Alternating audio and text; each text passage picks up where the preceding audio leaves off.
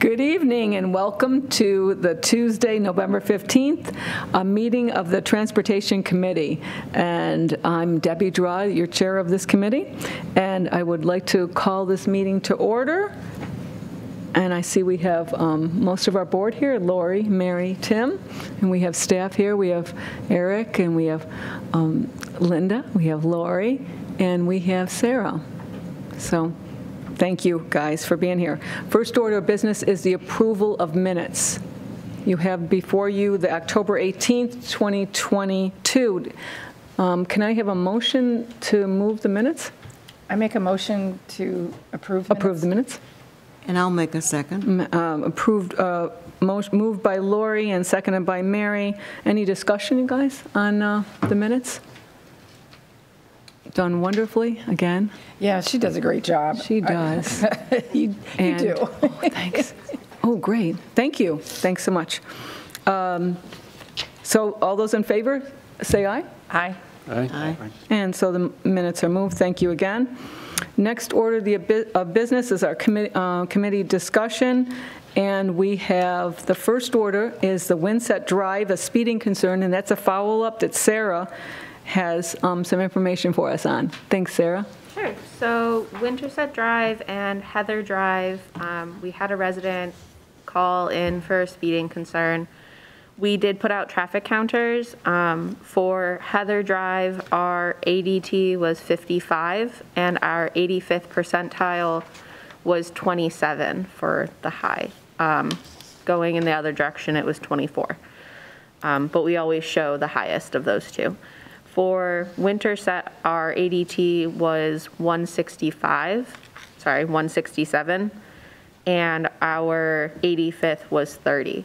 So the speed limit in that neighborhood, it's a closed loop neighborhood, but the speed limit is 25, so that did have a high of five over the speed limit for the southern road, which is Winterset. Um, Generally, our next step in a situation like that would be to request enforcement. Um, So that would be our first recommendation to the committee. Sounds Yeah. good. And I can see why, because it's that straightaway. Is that where they, where the speed? Yep. Yeah, So we the try counter to was about. Put them right in the middle. just- Yeah, We try to optimize so people don't say, well, it was near the curve or it was too far. So we put them in, I won't say the worst case scenario, but, you know, where it's most likely, we try to center it Yeah. in there. And then same on that, call it the back stretch of Heather Drive. We put it kind of in that mid, you know, portion of the straightaway there, again, to Kind of in the middle of a hill, right? capture mm-hmm. the highest, And again, this Potential street would just there, be neighbors, because it doesn't go anywhere. Right. Yep. And I think the initial concern came in from someone texting and driving and not paying attention and going too fast. Mm-hmm. But, you know, given that, we said, well, I don't think we had counts either recently or possibly at all mm-hmm. um, for that neighborhood. So we said, well, it's at least worth our while to get a benchmark, you know, mm-hmm. what those counts are and, you know, we Right. can look at the time of day, we can pull out, you know, kind of what that peak hour is of, if there is speeding, is it, you know, morning hours, people going to work, is it kids coming home from school? You know, we can kind of pinpoint that and then pass it on to the mm-hmm. sheriff's office if they want to do any sort of enforcement. We can never pinpoint point if it's the same car over and over again, can we? We can't, we're not, we're not quite that sophisticated yet, but That's, uh, I I would be, I I would be interested to find out what kind of, if it is. That would be kind of cool if we could. Yeah. Oh, well. that'd solve a lot of problems a lot faster. but- Yeah. That sounds like, any other discussion on this? Move it ahead, um, and we will put this through for, um, to be. To request enforcement? Request enforcement down there and Sure. with the, with the um, sheriff's department? We can do that. Thank you. When do we get a follow-up from them uh, after, how much, how long after enforcement? Do we get anything or no? Not typically. I know the supervisor meets monthly. I can check with her if she gets anything. I think they just put it on their, they've got their morning sheets. I think it just gets put on their hot list of, you know, streets to, you know, pay attention to. So I don't know as we get too much follow-up. I know the one we did have follow-up on um, was Dublin Road. You know, back in the day, they were out there. There were some repeated concerns. I think they came back and said they wrote one ticket in that timeframe that we had requested, and I think that was requested, you know, multiple times. That's the only time that I've specifically heard back whether the supervisor gets any, you know, updated information. I think they just put it on a sheet of, as the route patrolling to make sure and, you know, keep a better, you know, watch on some of these roads with concerns. Well, I surely will um, mention that to her, Stu, when she's meeting with them and see if they have any follow-up for her on that, um, on this issue. Thank you. Um, Next on the agenda is the Liberty Street, Motts Lane, Route 441, uh, traffic analysis, uh, New York State Department of uh, Transportation Traffic Analysis letter update. Mark, I know this came to the town board as well as. Yeah, this came to the, um, the town board. We had a request um, from a resident for a traffic light at both Penfield Road um, as well as Liberty Street. Um, Sarah's kind of highlighted on the screen the two locations. Both of those um, fall under the jurisdiction of the state DOT as being, you know, their road, their intersection. Um, Did send those off. It's been several months. They did a study. Um, They came back and said that, you know, in those locations, it doesn't meet the warrants that they have or requiring a traffic light. Um, I think we kind of all assumed that, you know, going in, but wanted the state to, you know, go through their process and their due diligence to take a look at those. So it's more of an FYI for this committee on, on that aspect. It doesn't fall under our jurisdiction as the town. Um, But the state did take a look at it. They did provide a letter back. You know, we'll provide that letter back to the resident who raised the initial concern or initial, you know, request for the traffic lights. It's a tough, it's a tough area right there. Uh, You know, I know exactly what they're referring to as far as turning left onto, um, from Mott's Lane onto, um, Yeah, certain times of Five Mile Line day, well, Mott's is a right-in, right-out on the end, on the south side, so that's set up as a right-in, right-out, so to not encourage people to try to make the left across Right. lanes and down 441, Liberty Street is not a restricted egress. I know most people try to go out to the right, depends on the time of day, the middle of the day, you know, there's not that much traffic, it's fine. If it's evening, you got the evening commute, everybody's heading back eastbound, you know, that's a tough movement to get, you know, in or out of. I live back in that, right in that area, so I'm walking in there. I'm very familiar with it. It's a, speed is a, can be an issue back in there. And then subsequent to that, um, we also did recently receive an email, I don't know if that was passed along to the committee, uh, where the resident had a concern turning left out of Liberty Street onto Five Mile. Um, So just on the other side, um, again, that falls under the county jurisdiction, so we passed it on to the county. Um, That just came in recently. Um, You know, they took a look at it, they, you know, we're going to pass it on to the state. I think a lot of the concern was the the backup of traffic coming up Five Mile out of the 441 intersection, um, and then trying to get someone, one, to let them into the gap, not block the side street. There is a sign out there already that says, don't block the side street. I But mean, then if- have to read. But then even if you don't, now you're pulling blind out into, if, especially if you're heading northbound, you're turning left into, you know, an active travel lane, and you got to know if someone's coming the other way. So, you know, I understand the, you know, the concern, and, um, you know, hopefully if people get to know the area, you know, you could go up Highland and Highland up to Gebhardt and get a little further away from the intersection. Um, You know, you may have to plan your route a little bit, but it- times of day, school getting out, um, commute times, you know, obviously that gets backed up through there. The state said they'd look at it, but likely they'd have to change timing of the signal light. If they change the timing to allow more time on Five Mile, then you back up, you're taking it away from somewhere else. Now you're taking it away from 441, so you just extend the wait times on 441. So it's, It's a- just a tough area. I mean, I live right on, on Cobblestone, and so I'm off of Highland. So if there's ever uh, a backup on Five Mile, they're cutting through Highland anyways to get over to, um, to Liberty. Liberty to, um, then back to 441, or vice versa. They're cutting on Liberty to go to Highland to, so uh, we see that a lot, you know, especially with the fire department being at the Four Corners as well, too, when there's a a backup, when there's a, it's a tough call what to, um, know, to help that, to help that situation. Yeah, it, it's not an easy answer to it. I know the school district, um, and that kind of leads into our, our next item, and we can get there, but the school district is looking at, um, and has already taken methods um, to have further queuing in the morning around their property to try to have people in. So you come into the high school, you loop around the building um, as part of drop-off to install more queuing within their, their property. So now they're looking at it. I know they're looking at moving the bus garage. Um, So if the bus Right. garage leaves Five Mile, that may alleviate, you know, some traffic. So I know the school district's looking at their options on methods. I know they've staggered s- some school times. I know they start different than St. Joe's and St., um, and uh, Charles Finney Charles to Finney, to s- stagger starts a little bit. So I know, you know, they're trying, you know, their best to alternate times, but some of it's just, you know, commuters and, Yeah, it's tough There's with with a lot of schools in there. You're right. It's a, yeah, you've got four schools and, you know, with cobbles in that small, small area. so this is on the radar for um, the state to, to, to look at, but, Um, The county basically came back with an initial response. I don't know if they're going to generate a formal letter. Um, Okay. I just saw an initial reaction. The, the um, concerned citizen, you know, asked for uh, a mirror or something across Right. The street from the intersection. They said, you know, they don't typically do that. Um, You know, they said normally they'd look at, you know, having a don't block the intersection sign that's up already. They'd look at, you know, what's causing the backup. That's the queuing of 441. So, you know, would ask the state to take a look at that. I'm sure the state will come back saying, well, if they, as I said earlier, if they add time to the five mile through mm-hmm. traffic, they're taking away from 441, so that's always a balance for them on that, so.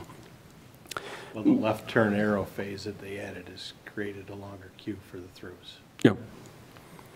That's, the- that's the trade-off. You, you want a left turn, you're going to wait longer on the throughs, so. Yeah, they're not picking you up, you gotta lean into the mic. Oh, I'm sorry. oh, yeah. Sorry. Just a quick note there, the left turn phase that was added uh, with the arrow for the southbound lefts has increased the length of that through through queue. Wasn't as bad before.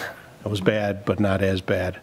And now it doesn't clear every cycle either during those peak, that three to four time. I've been in it a few times, and you end up waiting several cycles to get through on the through, so.